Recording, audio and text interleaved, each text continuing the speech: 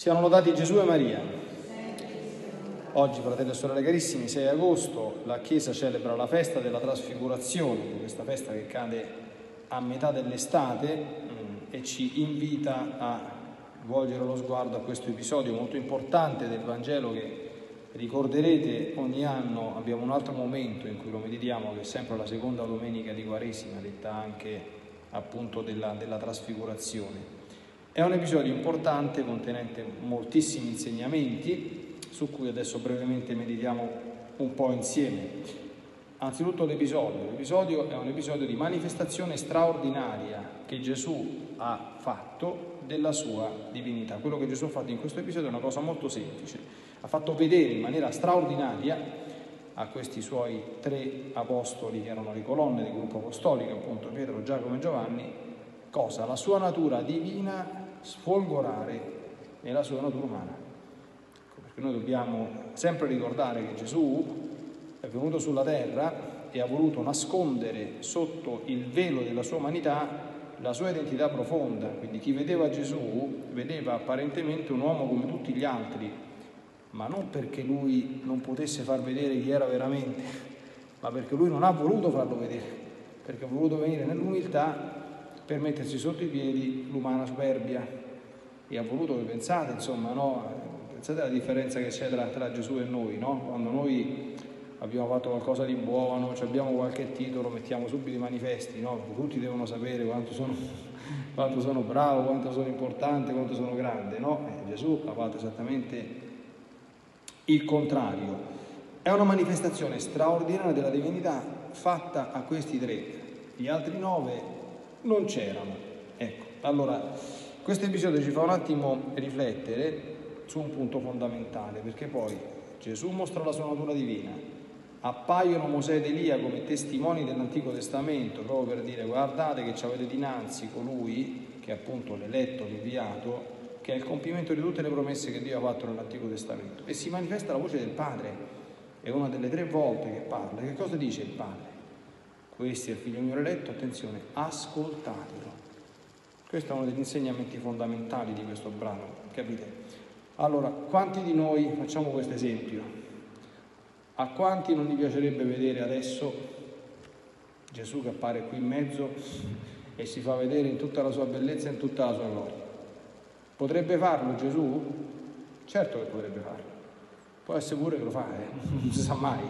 Ecco, però queste cose Gesù le fa se vuole, quando vuole, come vuole e quando vuole, per dei motivi molto ben precisi e con le persone che vuole, eh, con quelle persone che sceglie. Voi sapete che la Madonna adesso appare in tanti pasti, no? E quando incontrano i cosiddetti veggenti gli chiedono sempre ma come mai la Madonna è apparsa a te e non è apparsa a qualcun altro? Quello risponde io non lo so. e chi lo sa perché la Madonna è apparsa a Tizio e non è apparsa a Caio? Non si sanno queste cose, quindi queste manifestazioni straordinarie sono completamente soggette alla volontà di Dio, alla sua sapienza e alle persone che Lui sceglie per i suoi misteriosi voleri. Ecco, non è su queste cose però che si fonda la nostra fede, anche se Lui le fa perché? Perché poi San Pietro ha scritto nella prima lettura, dice guardate che non siamo mica andati a pressare favole noi che vi, che vi predichiamo nostro Signore, noi l'abbiamo visto con i nostri occhi, l'ho assicurato, abbiamo visto chi era ci stavamo noi, ci stava qualcun altro, quindi fateci un esame, come dire, eh, psichiatrico, vedete se siamo matti o se siamo sani di mente, ma queste persone sane di mente hanno visto questa cosa e la annunciano. Però la fede non si fonda su queste cose grosse, straordinarie, capite? Ma su cosa? Sull'ascolto di Gesù. Ecco perché proprio in quella circostanza il Padre si rivolge a quei tre, ma attraverso quei tre si rivolge a tutti noi, dice Credi che Gesù è mio figlio e quindi forza del fatto che Lui è colui che ti ha inviato per la tua salvezza, apri bene le orecchie, ascolta, metti bene in pratica quello che ti dice, perché questa è la via sicura che vale per tutti. Non tutti avremo la grazia di vedere Gesù veramente com'è prima di morire, prima di andare in paradiso, ma tutti quanti, se vogliamo, abbiamo la grazia di ascoltare la sua parola, basta non soltanto venire a messa, insomma, no? uno ha un bel Vangelo dentro casa, lo apre, se lo legge con calma, ha ascoltato la parola di Gesù. Questa è la cosa più importante perché se noi non ascoltiamo il Vangelo, non lo mettiamo in pratica, in paradiso non ci andiamo. E quindi la delizia che, che viene dal fatto di vedere Gesù, di, di, vedere la Madonna, di vedere i santi, di stare in loro compagnia, oggi cominciamo anche la novena dell'Assunta, che è la patrona della nostra parrocchia, non la gusteremo se non abbiamo conosciuto, ascoltato e messo in pratica la parola di Gesù. E questa è la condizione ordinaria della fede, ecco perché vedete quando, Gesù, quando San Pietro dice che è bello stare qui, rimaniamo sempre qua, facciamo delle tende, Gesù dice calmi, sta buono, questa è una cosa straordinaria, adesso ricomincia la vita normale.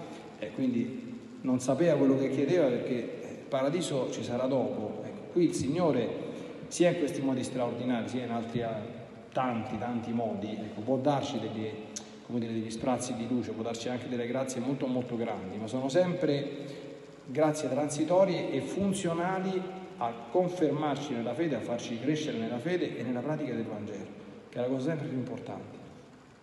Quindi anche la nostra fede è solida tanto quanto è radicata nell'ascolto della parola di Gesù e nella sua messa in pratica. Perché se facciamo questo, poi abbiamo tutta l'eternità per bearci di Gesù, della Santissima Trinità, della Madonna e dei Santi. Ma se questo non lo facciamo, capite, non lo vediamo né mo né mai. Eh, questo è il grande messaggio di, di questa festa. Bene, oggi iniziamo, come accennavo anche la novena a Maria Santissima Assunta in Cielo, questa altra bellissima festa ecco, della, del mese di agosto, che santifica questo, questo mese, chiediamo a Maria Santissima di, prepararci bene a celebrare questa importantissima festa. Non dimentichiamo, è possibile in questi giorni chiedere, specialmente per chi farà tutta quanta la novena, una bella grazia alla Madonna.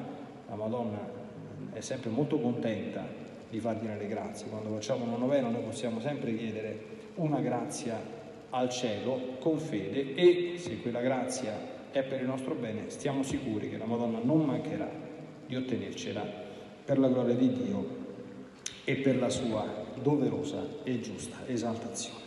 Siamo lodati Gesù e Maria.